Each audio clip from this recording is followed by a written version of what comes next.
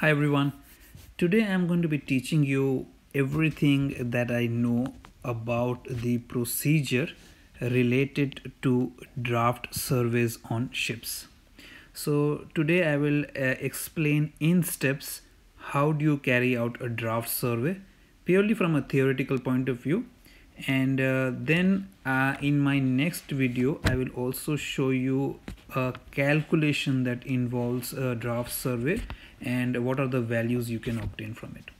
Alright so if you don't know what is a draft survey a draft survey is uh, used to read the drafts of the vessel in order to obtain the displacement of the ship. All right so a vessel is uh, floating in a certain water and you have the aft draft marks and you have the forward draft marks all right so the drafts are read on the port as well as starboard side forward aft as well as midships and after you make corrections for hogging and sagging trim list and density of the water the displacement of the vessel can be obtained.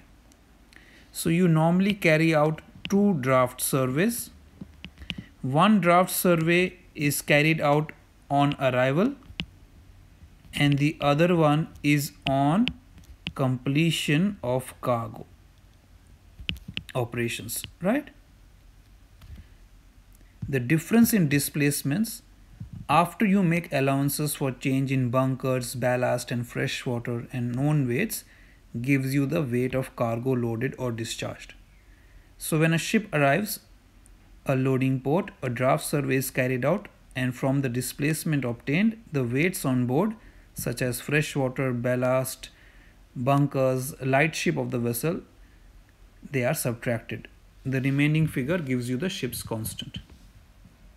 This constant is typical for a particular vessel and includes the weight of unused stores, sludge in tanks, rust and other things which are not accountable. On completion of loading, another draft survey is conducted and the displacement is obtained and after subtracting the known weights for the departure condition and the constant as obtained from the initial draft survey, the balance figure gives us the cargo loaded at the port. The procedure is same but the figures are obtained in reverse during discharge of cargo. So now let me discuss the procedure for draft survey. What are the steps involved in draft survey? So what is the step 1 and then we'll go from there. Alright, so I'll show it to you in drawing as well so that you can follow me with the drawing. So the first step, the first step is correction of drafts. Now what does this correction of drafts mean? Correction of drafts means that the drafts are read on both sides of the vessel, forward, aft and midship. These drafts must be the drafts at the forward and aft perpendicular. Alright, so here is the aft perpendicular, here is the forward perpendicular, right, of the vessel and also you read it midships. Alright this is the symbol for midships. If the draft marks are not placed at the forward and aft perpendiculars they are to be corrected so as to obtain the drafts at the perpendiculars. Alright so that is the procedure for the correction of drafts now if you look at this then you have here the aft perpendicular you have the forward perpendicular and then you may have the draft marks. So I'll use a different color pen so that you guys don't get confused with all these lines that I'm drawing. So you will see that uh, you will probably have so how can I show you the water level? So let's say this is the water level right and now uh, what color should I use? Here you go. So this is the here you go. This is the uh, draft aft. All right. This is the draft aft. Let's call it DA and this is right? And uh, you have the draft somewhere here in the midships. Right? We call it dm draft midships right? And then somewhere here you will have the draft forward. So draft as you know is read from the keel to the water level. So I don't have to tell you what drafts are right? You guys must be advanced minor so we have draft forward. So we have draft aft draft midships and draft forward right? So then you have A which is the distance between this is let's call it A is the distance between the forward draft marks and the forward perpendicular. And then you have B which is the distance between the aft draft marks and the aft perpendicular. Then you have C which is the distance between the midship and the midship draft marks. DF as you know and DA and DM are the position of the draft marks forward, aft and midships. F as you know is the forward perpendicular, A is the aft perpendicular and we can have the midship written as M if you want okay otherwise this is the symbol for midships as well so now how do you apply the correction of drafts so forward correction. Forward correction. All right what is the sim what is the formula for that? That is trim multiplied by the distance a as you see in the figure divided by length of the vessel. So what is length of the vessel? This is the length between the perpendicular. This is l. L length between the perpendicular minus A minus B. This is the forward correction. Alright, forward correction for the forward draft. Then for the correction for to the aft draft, we have the aft correction which is equal to trim times the distance B divided by L minus A minus B. So the denominator remains the same in both the cases. And then of course you have the midship correction so the midship correction, I'll write it down for you, is again trim multiplied by the distance C divided by L minus A minus B. So you know all, all know what trim is. Trim is the difference between the forward and the aft draft. Alright, so if the forward draft is 9 meters, aft draft is 11 meters, trim is 2 meters by stern. Now the trim used here is the trim as read from the draft marks which is not the actual trim of the vessel. The trim of the vessel as you see in the figure is the trim by the stern. Now the sign of the corrections will be opposite if the shim is trimmed by the head. The sign of the midship correction will be opposite if the draft marks are forward of midships.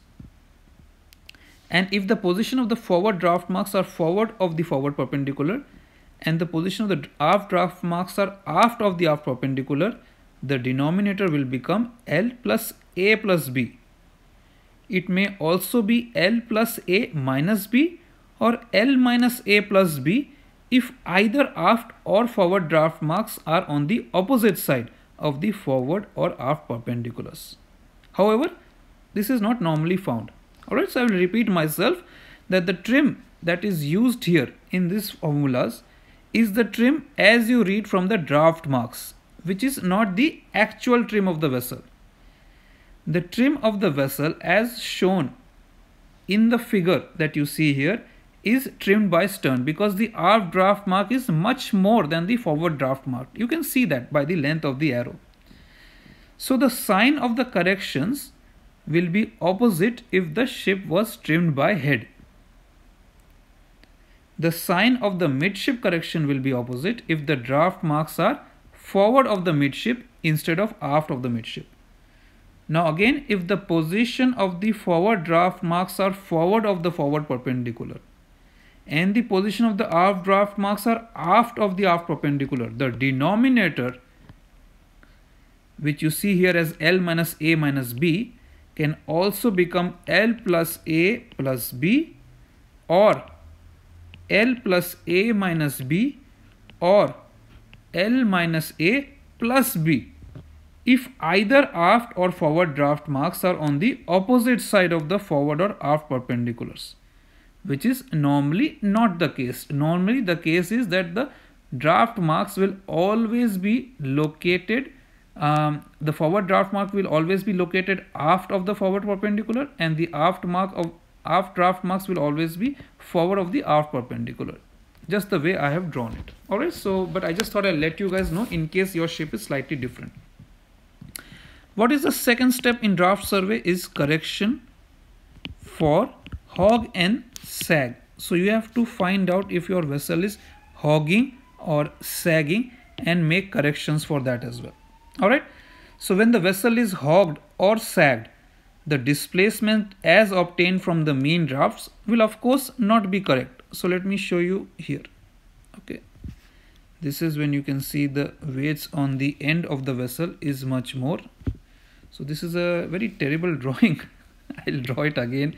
So uh, my drawing skills are terrible guys if you have already not figured it out. So I'll just draw the ship first here and then I will draw the bow and then you will see slightly here all right and uh, you will have the watermark in blue somewhere here and the other condition and the other condition could be where you know there is more weight in the midship right there's more weight in the midship here and we have the water level here so what happens here in this case here so when hogged it will be increased by the extent of the hog. And when sagged, it will be less by the amount of sag. To correct for this, we do not use the mean drafts, but rather the mean of means or quarter mean drafts. So let me show you how. So here you can see uh, here decrease in displacement will take place, you know, because uh, it is hogged or it is sagged in the other case, uh, increase in displacement will take place. Because the drafts will not be the accurate draft so we have to apply the correction here. Because it is hogged and sagged so that is not giving you an indication of the accurate drafts here. So what do you do here? You will find out the mean of means. So how do you find out mean of means? Mean of means will be found out by forward draft plus aft draft divided by 2 all right but you also will add the midship draft here. And then divide the whole thing by 2 again. Plus midship draft. But in the denominator you will have another 2 here. So this is mean of means. So if you add them all together you what you will get is f plus a plus 6 times midship draft divided by 8 alright so just to keep it constant let me just have the letter m here not uh, mid so m Alright, so this is the formula you will use to find the mean of means. So the displacement of the vessel can be found out now using the mean of means drafts. So this is step number two because here we are correcting for hogging and sagging. Then what is the third step? The third step is known as the first trim correction. Right? Now what is the first trim correction? Now the displacement of the vessel should correspond to the draft at the center of flotation or hydrostatic draft. So center of flotation is the point about which the ship trims. Now when the vessel is on even keel and the trim is zero, with no hog or sag, the hydrostatic draft, the mean of means draft and all other drafts will be same. And so the first trim correction will be zero. So let me repeat here. Even keel vessel, that means zero trim. All right zero trim. No hog or sag. Then hydrostatic draft. Mean of means draft all other drafts are same all right let me summarize it for you so correction will be, first trim correction will be 0. However, if the vessel is trimmed, the position of the center of flotation changes if vessel is trimmed because that is the point about which the ship is trimmed. So if vessel is trimmed, position of the center of flotation changes and a correction has to be applied to the displacement obtained from the mean of means draft to obtain the displacement at the first hydrostatic draft. Now how do we obtain or how do we apply that correction? So we say first trim correction is equal to length between perpendiculars LBP by 2 minus LCF multiplied by trim of the vessel. Alright so we call it T or trim of the vessel multiplied by 100 multiplied by TPC divided by again LBP so here trim is negative if vessel is down by head. All right and trim is positive if vessel is by stern down by stern or trimmed by stern.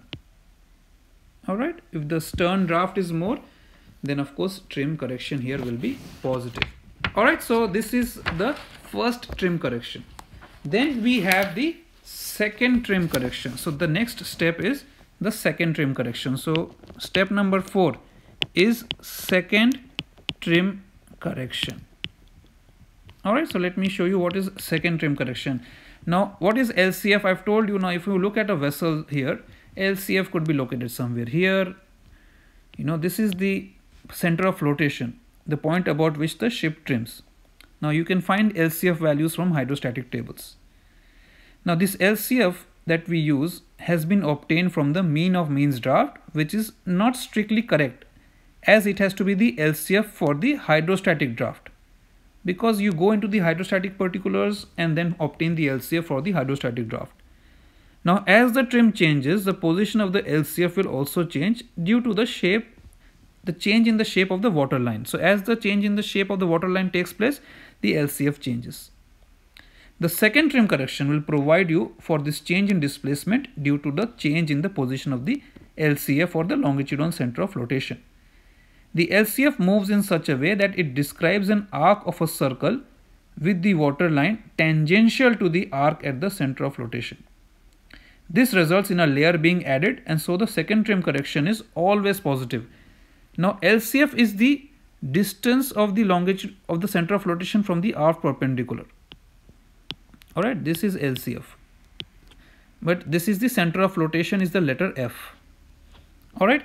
Now this correction is always positive. Now how do we apply this correction? Second trim correction is equal to 50 times square of the trim. Square of trim. Whatever is the trim square of that.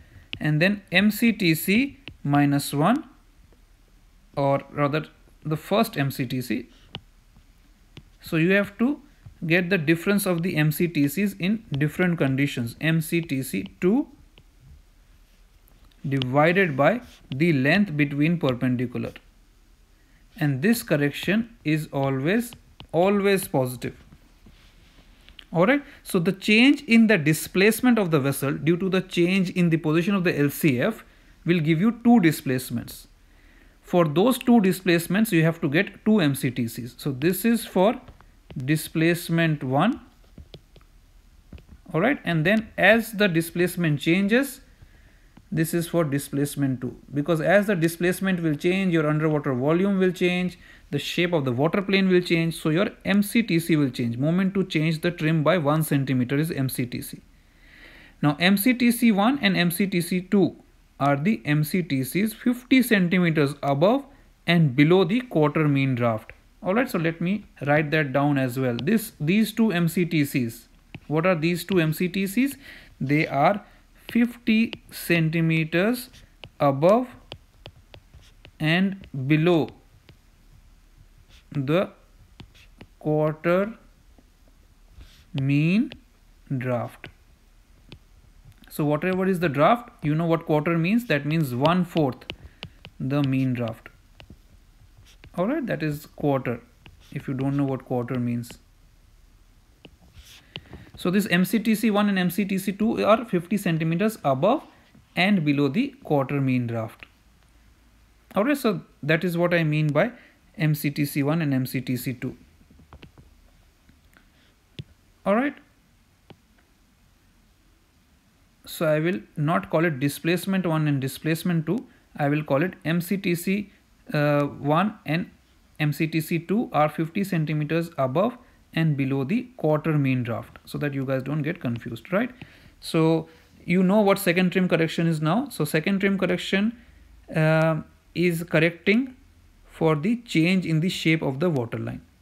So this second trim correction provides for this change in displacement due to the change in the position of the LCF. Alright, so the LCF moves in such a way that it describes an arc of a circle with the water line which is tangential to the arc at the center of flotation. Alright, now let's go to step number 5. What is step number 5? Step number 5 is heel correction. heel correction all right now what is heel correction let me show it to you by a diagram here all right let me this is the let's say a transverse movement. All right so this is the water line shown by the letter or rather the color blue. And then I will show you something that refers to a heel. So this is the water line WL and this is the water line on the vessel being heeled so when the vessel heels the mean drafts will reduce. As the immersed wedge which is this wedge here so this is the immersed wedge and this is the immersed wedge alright now when the vessel heels the mean drafts will reduce as the immersed wedge which is the wedge inside the water will normally be greater than the immersed wedge which is outside the water. So this wedge is outside water. Alright. And this wedge is inside the water. Now when the vessel is heeling, let's say this in this case here the vessel is heeling on the port side. If this is port side and this is starboard side, this is heeling on the port side. Alright so you have a immersed wedge which is inside the water which is greater than the immersed wedge which is leading to the ship rising bodily. This however results in a lower displacement and so the heel correction is always positive. So what is heel correction? Heel correction heel correction is equal to 6 times TPC1 minus TPC2 multiplied by D1 minus D2 now what are D1 and D2? D1 and D2 they are the port and starboard midship drafts. Alright. And what is TPC1 and TPC2? These are the two TPCs. TPC stands for tons per centimeter immersion. They are the two TPCs corresponding to the midship drafts that is D1 and D2 alright so if you go into the hydrostatic particulars if for D1 that is draft first draft you will find out the TPC1 and for D2 you will find out TPC2 this is from hydrostatic tables. Alright for hydrostatic tables TPC values are given against drafts. So you can find out you can go into you can read the port and starboard midship drafts and then go into the hydrostatic tables and find out the corresponding TPCs for the two drafts and then find put all the values here and get the value of the heel correction that you apply as well. Alright? And then we have the last step which is called the density correction.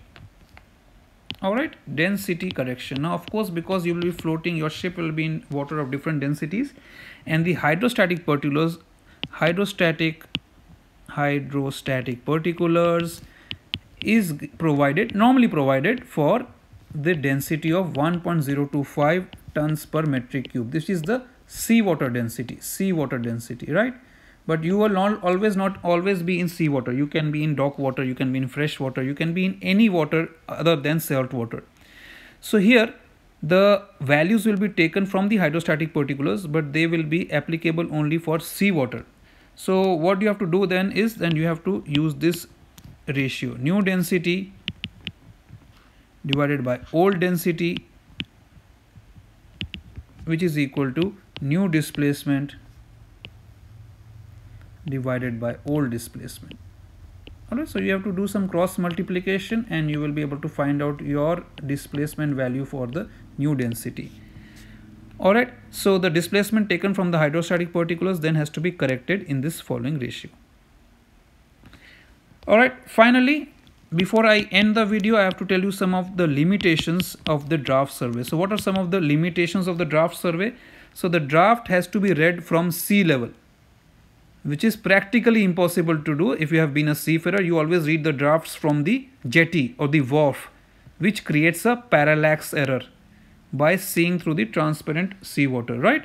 So a parallax error is always there because you are not reading the draft at the sea level which of course is not possible second is if you read the drafts in rough weather then also errors can be introduced you will not be able to read the drafts accurately and hence the displacement obtained will always be in error.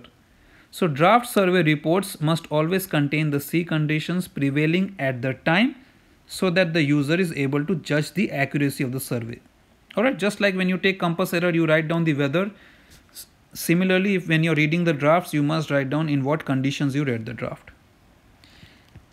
Number three, it is difficult to obtain one figure for the density of water. Alright so density estimation becomes a big factor here and density is normally estimated by using the hydrometer right? Now at the bottom of the ship density is maximum while at the top of the ship it is minimum so the density has to be taken at least at three depths and at different location along the ship's length and port and starboard side I don't know if it's possible or not. You can take it on one side for sure at different lengths, but I don't know whether you can go and take it on the other side or not. But this is how it is done in the draft survey. Normally not done in normal operations, but in draft survey, that is how it is done. You have to go all around the vessel and check the densities, check the draft, right? Number four, the ship must always be floating freely and not resting on the bottom.